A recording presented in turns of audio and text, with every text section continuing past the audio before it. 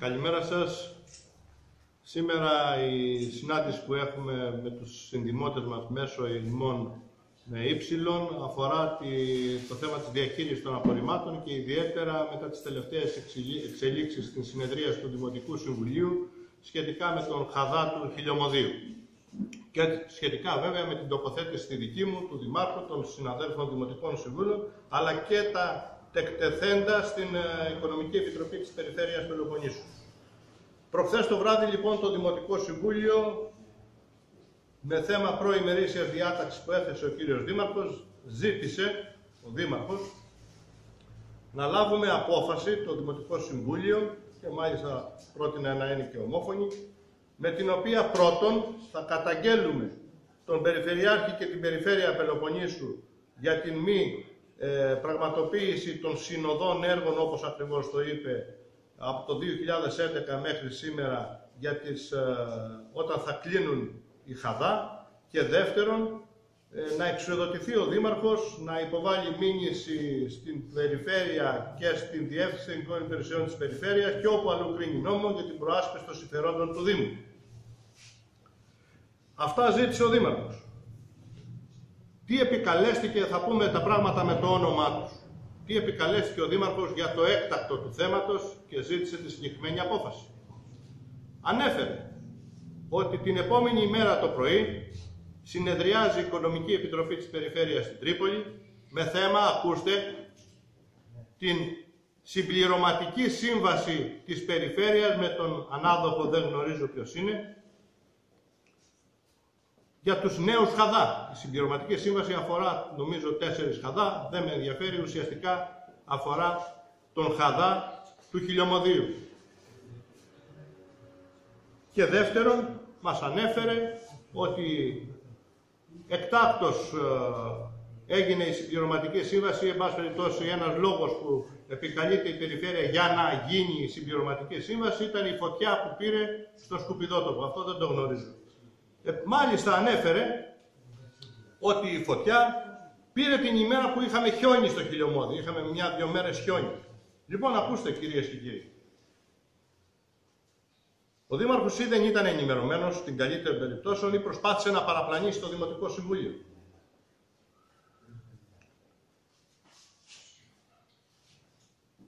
Η Οικονομική Επιτροπή, που πράγματι συνεδρίαζε την επόμενη μέρα, δεν είχε θέμα συμπληρωματικής σύμβασης.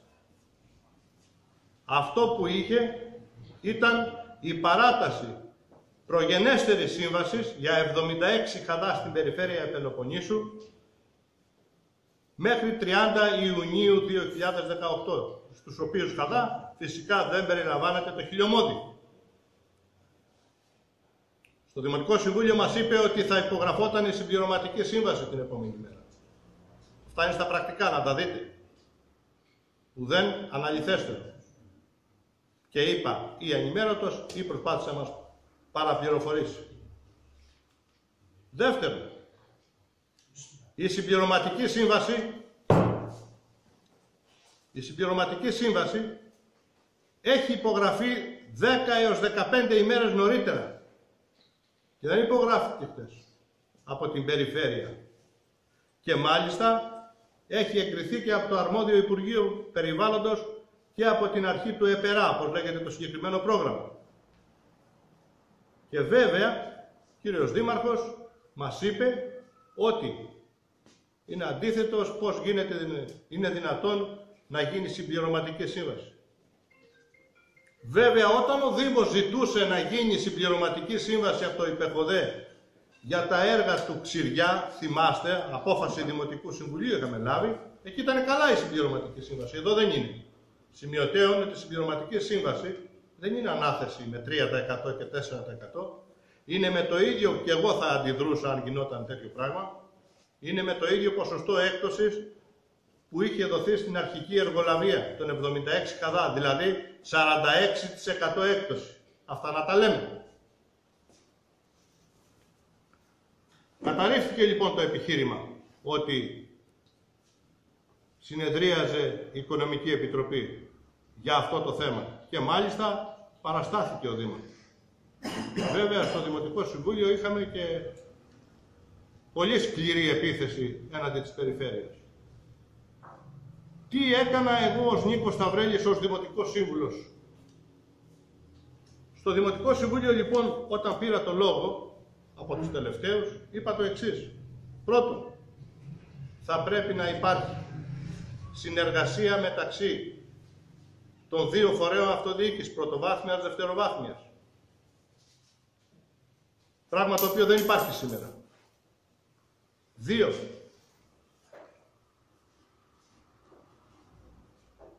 Βλέπω μια απίστευτη σκληρότητα θέσεων και από τις δύο πλευρές, Δήμου και Περιφέρειας, για το οποιοδήποτε θέμα. Τρία. Εξακολουθώ να είμαι υπέρμαχος της τοπικής διαχείρισης στο Δήμο Κορινθίων για τα απορρίμματα. Και κυρίως, όπως το είπα και στο Δημοτικό Συμβούλιο, για οικονομικούς λόγους. Είναι πιο ακριβή η λύση τους ΔΙΠ από ό,τι της τοπικής διαχείρισης. Τέσσερα, το κυριότερο.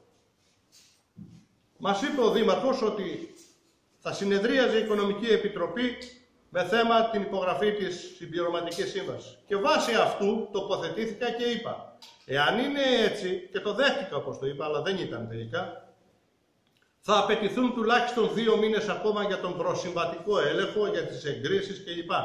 Μέχρι να είναι έτοιμος ο ανάδοχος να υπογράψει τη σύμβαση αφού θα λαμβανόταν η απόφαση από την Οικονομική Επιτροπή. Με δεδομένο ότι θα περνούσαν δύο μήνες. Και υπάρχουν οι δύο δυνατότητες. Ή τους δείτε αν επιλέξει η κυβέρνηση το προσεχές διάστημα, στην οποία αναφέρεται ότι μέσα σε 10 μήνες η Τέρνα θα έχει τη δυνατότητα, θα υποχρεούται ότι θα έχει τη δυνατότητα, όπως μας λένε, εγώ δεν το έχω δει, να παίρνει τα απορρίμματα για την προσωρινή διαχείριση των Δήμων. Είτε εφαρμοστεί η δική μας πρόταση που εγώ εξακολουθώ και την λέω, δεν ξέρω εάν ο κύριος Δήμαρχος στο τέλος θα μείνει με την τοπική διαχείριση ή θα πάει στο ΣΔΙΠ, γιατί κάποιες συνεννοήσεις είδαμε στην περιφέρεια χθες το πρωί. Εγώ πάντως θα μείνω μέχρι το τέλος.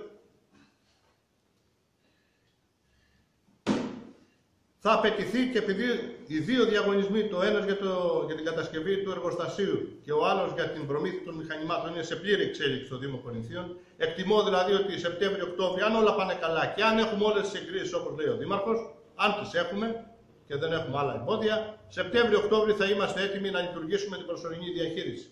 Είπα λοιπόν, αφού θέλει δύο μήνες, αλλά η σύμβαση είχε υπογραφεί και δεν το γνωρίζαμε. Να περιμένουμε και 5-6 μήνες ακόμα, να συνεννοηθούμε με την περιφέρεια και να αρχίσει μετά ο ανάδοχος την αποκατάσταση της κομματερής. Ουσιαστικά δηλαδή μέσα στο 2018 λύνεται το θέμα. Όπως λένε. Δεν είναι η άποψη δική μου. Και προχώρησα παραπέρα.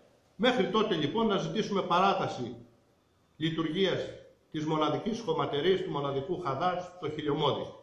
Α πάει ο εργολάβο να κάνει στις άλλες χωματερές και να είναι η τελευταία αυτή. Είμαι αντίθετος στην πρόταση που ανέφερε ο Δήμαρχος για καταγγελίες, μηνύσεις κλπ. Δεν φέρνουν αποτέλεσμα αυτά. Αυτή είναι η δική μου η άποψη. Ο Δήμαρχος έχει και άλλη άποψη και θεωρεί ότι έτσι πετυχαίνει. Και στο τέλος κατέληξα με τέσσερις λέξεις, διάλογος, σύνεση, αυτοσυγκράτηση, με τριοπάθεια. Κλείσαμε τη συνεδρίαση του Δημοτικού Συμβουλίου. Η συνεδρίαση βέβαια ήθελε 17 ψήφους, επειδή ήταν έκτακτο το θέμα, και ο Δήμαρχος ήθελε την απόφαση αυτή την καταγγελτική για να πάει το πρωί στην Οικονομική Επιτροπή να πετύχει αυτά που ήθελε να πετύχει και την ψήφισαν 15 δημοτικοί σύμβουλοι. Δεν έλαβε τον απαιτούμενο αριθμό ψήφων. Προσωπικά εγώ και ο κύριος Μουρούτσας από την πλειοψηφίσα παράταξη είπαμε, εμείναμε στη θέση μας να ψηφιστεί η πρόταση δική μας και όχι η άποψη καταγγελίας του Δημάρχου. Ας πούμε και χωρίς λοιπόν ουσιαστικά απόφαση πήγε στην Τρίπολη και συζήτησε. Θα πούμε τι έκανε στην Τρίπολη. Να πάρουμε την περίπτωση λοιπόν ότι είχαμε πάρει μία απόφαση να καταγγείλουμε τον Περιφερειάρχη, την Περιφέρεια και να προχωρήσουμε δικαστικές ενέργειες. Εσείς τι θεωρείτε κυρίες και κύριοι ότι η Περιφερειακή Αρχή της Τρίπολης θα, τους δεχο, θα δεχόταν τον Δήμαρχο με ανοιχτές αγκάλες, έλα να συζητήσουμε επειδή πήρατε απόφαση να κάνετε δικαστικούς αγώνες και να μας καταγγέλλετε; Τα βλέπετε σωστά αυτά; Άλλαξε ρώτα ο Δήμαρχος. Πήγε λοιπόν στην Τρίπολη χωρίς απόφαση και ως διαμαγείας εκεί που ήταν καταγγελτικός και έλεγε για τον Περιφερειάρχη και τι δεν έλεγε στη συνεδρία του Δημοτικού Συμβουλίου, πήγε και ζήτησε ουσιαστικά παράταση λειτουργίας χωματερής. Αυτό δεν είπε. Δηλαδή ποιος δικαιώνεται τώρα; Ο Δήμαρχος που έλεγε να καταγγείλουμε και να κάνουμε και να ράνουμε ή ο Σταυρέλης που είπε να συζητήσουμε, διάλογος, μετριοπάθεια, αυτοσυγκράτηση, σύνεση, να συζητήσουμε; Και αφού τοποθετήθηκε έτσι ο Δήμαρχος εκεί, τοποθετήθηκε και η Αντιπεριφερειάρχης και είπε ναι, να δούμε το θέμα, τι μπορεί να γίνει. Και επειδή αναφέρεται ότι λήφθηκε απόφαση χθες στην Οικονομική Επιτροπή, πάμε στην απόφαση τώρα. Να δούμε τι έγινε. Η απόφαση είναι μία και μοναδική στην Οικονομική Επιτροπή της Τρίπολης, Περιφέρειας Πελοποννήσου. Μία και μοναδική. Ποια; Παράταση μέχρι 30 Ιουνίου του 2018 της παλιάς σύμβασης του αναδόχου που δεν μιλάμε για χιλιομόδι. Καμία σχέση με χιλιομόδι. Κατανοητό; Δεύτερο, συζητήθηκε η πρόταση του Δημάρχου να μην κλείσει άμεσα η χωματερή του χιλιομοδίου μέχρι να βρεθεί λύση. Και η λύση ο Δήμαρχος πρότεινε να την έχει η Περιφέρεια, βασιζόμενος στην εγκύκλιο 19 του 2011 και η Περιφέρεια είπε ότι οι υπηρεσίες της Περιφέρειας θα βοηθήσουν το Δήμο Κορινθίων, έτσι ακριβώς είναι. Διαβάστε και τα, και τα αποσπάσματα της συνεδρίας του Οικονομικού Συμβουλίου, του, της Οικονομικής Επιτροπής, όπως τα δείξατε τα κανάλια σας. Θα βοηθήσει την, το Δήμο Κορινθίων για την καλύτερη λύση για να μην γεμίσει η πόλη σκουπίδια. Λήφθηκε κάποια απόφαση, καμία. Δύο ευχολόγια είχαμε. Η σύμβαση συμπληρωματική που έχει υπογραφεί εδώ και 10 μέρες και από τον Περιφερειάρχη και έχει εγκριθεί και από την κυβέρνηση, προχωράει κανονικά. Δεν υπάρχει κανένα απόφαση να σταματήσει. Με την συζήτηση και το διάλογο θέλω να πιστεύω όπως φάνηκε στη συνεδρίαση και ήταν και διαλλακτικός εκεί ο Δήμαρχος. Άλλος Δήμαρχος ήταν εκεί, δεν ήταν ο ίδιος ο Δήμαρχος που ήταν στη συνεδρίαση του Δημοτικού Συμβουλίου. Φάνηκε ότι πάνε να βρούνε μια λύση. Απόφαση δεν υπάρχει.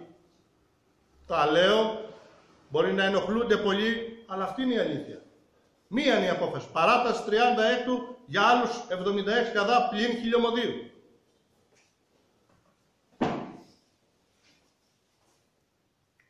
Και επειδή τώρα να πούμε και λίγο στα προσωπικά. Μετά την συνεδρία της Οικονομικής Επιτροπής, ο κύριος Δήμαρχος βγήκε ουσιαστικά και δεν με ενδιαφέρει τι έκανε για τον κύριο Νανόπουλο και τους λοιπούς, μίλησε για μένα και για τον κύριο Μουρούτσο. Ότι δεν ανοίγει τους συνδυασμό. Πρώτον, μίλησε καταρχήν ότι κάποιοι. Ο Σταυρέλης έχει όνομα και επώνυμο. Δεν είναι κάποιος. Έχω μάθει εγώ. Όταν μιλάω πάντα με το όνομα του καθενός. Είτε λέγεται πνευματικός, είτε λέγεται Σταυρέλης, είτε λέγεται Νανόπουλος. Δεν θα μπω στην ίδια λογική του Δημάρχου. Δεν είμαι κάποιος. Έχω επώνυμο. Τόσα χρόνια που ήμουν συνεργάτης, το στήριγμά του Ήμουνα ο Νίκος ο καλός ο Σταυρέλης. Τώρα είμαι κάποιος. Να είναι καλά. Μας είπε λοιπόν ο Δήμαρχος ότι κάποιοι από το Δημοτικό Συμβούλιο, οι οποίοι ναι κύριε Γιάννη, όπως είπε είναι πρώην... Ναι. Ε, είναι πρώην ε, συνεργάτες, πρώην Δημοτικοί Σύμβουλοι. Και δεν ανοίγουνε, είπε, είπε επιλέξει, δεν ανοίγουν συνδυασμό. Μάλιστα. Τι είναι ο Δήμαρχος Ποιος διαβαίνει. Πήρε καμία απόφαση διαγραφής του Σταυρέλη; Αν έχει τα κότσα να την πάρει την απόφαση. Να διαγράψει. Δεν έχει ληφθεί καμία απόφαση. Δεν βλέπετε ότι βολοδέρνει η παράταξη. Δεν το βλέπετε. Πού την οδηγεί στα βράχια την σημερινή παράταξη. Δεν βλέπετε ότι οι συνεδριάσεις του Δημοτικού Συμβουλίου γίνονται με 12 Δημοτικούς Συμβούλους το πολύ από την πλειοψηφούσα παράταξη. Δεν το βλέπετε; Δεν το βλέπει ο κύριος Δήμαρχος; Ας κατέβει από τον δεύτερο όροφο να δει το τι γίνεται. Και στην παράταξη μέσα και στην κοινωνία. Δεν βλέπετε ότι από τους 20 δημοτικούς συμβούλους ψάχνουμε να δούμε τελικά με ποιους μιλάει και με ποιους δεν μιλάει; Δεν τα βλέπετε; Εγώ κάποιος τα βλέπω. Είτε είναι αντιδήμαρχοι είτε δημοτικοί σύμβουλοι. Με πόσους μιλάει τελικά. Και μας μιλάει για παράταξη. Και κάναμε δυόμιση ώρες για το αυτονόητο να συζητήσουμε για να φέρουμε τους ασθενείς δημοτικούς συμβούλους για να πάρει πλειοψηφία και δεν την πήρε ούτε και με αυτήν και εμείς να ψηφίζαμε. 20 δημοτικούς συμβούλους έχει παράταξη και 7 αντιδημάρχους και 5-6 προέδρους. Βλέπετε να έρχονται στα συμβούλια; Με την ανοχή και τη στήριξη της μειοψηφίας γίνονται τα δημοτικά συμβούλια. Αυτή είναι η αλήθεια. Αν θέλει να το καταλάβει ο Δήμαρχος μέχρι το τέλος της θητείας να παράξει ένα έργο, ας το καταλάβει. Δεν θέλει, ας μείνει εκεί, όπως έχει προδιαγράψει το μέλλον του.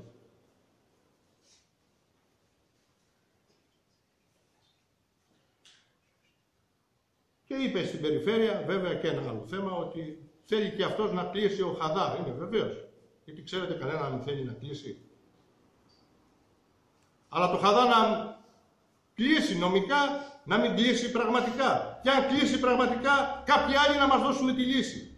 Και η περιφέρεια λέει, ναι, εμείς θα σε βοηθήσουμε, αλλά βρες μας το χώρο τώρα για να σε βοηθήσουμε. Εκεί θα έρθουμε στα δύσκολα τώρα. Να δούμε πού αλλού θα πάμε. Ξέρετε τι ωραία είναι στα λόγια κάνουμε και επαναστατικούς αγώνες. Και μάλιστα είπε για μένα κάποιοι δημοτικοί σύμβουλοι, ο κάποιος ο Σταυρέλης και ο Μουρούτσος βεβαίως που παριστάμεθα και είπαμε όχι σε αυτήν την τακτική του Δημάρχου δεν θέλουν την αγωνιστικότητα του Δήμου. Δηλαδή και εμείς τι είμαστε, για να κάνουμε επαναστατική γυμναστική. Δεν έχουμε αφήσει υπουργό για υπουργό. Δεν έχουμε αφήσει φορέα για φορέα με όλους να τσακωνόμαστε. Γι' αυτό είμαστε. Το κάναμε με το έκτος σύνταγμα με πεζικού, με το κέντρο μεταναστών, σπάσαμε τα μούτρα μας. Το κάναμε και αλλού, σπάσαμε τα μούτρα μας. Ε, δεν θα συνηγορήσω. Τα αγωνιστικότητα δεν κρίνεται ούτε από τις αποφάσεις του Δημοτικού Συμβουλίου και αν θέλει να είναι ο Δήμαρχος αγωνιστικός, ας είναι. Με γεια του, με χαρά του, αυτός παίρνει την πρωτοβουλία. Δεν θα είναι με τη δική μου ψήφου. Λευκή επιταγή δεν δίνω στον Δήμαρχο. Και αν ήθελε και ακόμα να παίρνει, να κάνει ένδικα μέσα κατά του Περιφερειάρχη και κατά της Περιφέρειας, ακόμα και κατά των τεχνικών υπηρεσιών, όπως είπε, της Περιφέρειας Πελοποννήσου, είναι δικαίωμά του να το κάνει δεν θα βάλει το Δημοτικό Συμβούλιο να μεταφέρει ευθύνες αλλού. Τελεία. Παύλα.